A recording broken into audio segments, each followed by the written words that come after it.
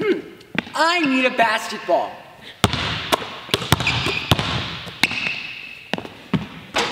Oh, this one sucks.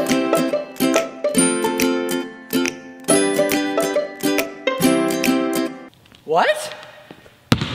Wow, this ball's way better.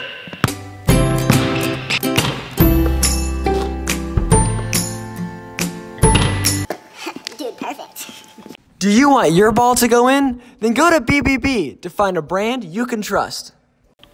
Don't don't get me. Okay. Oh shoot.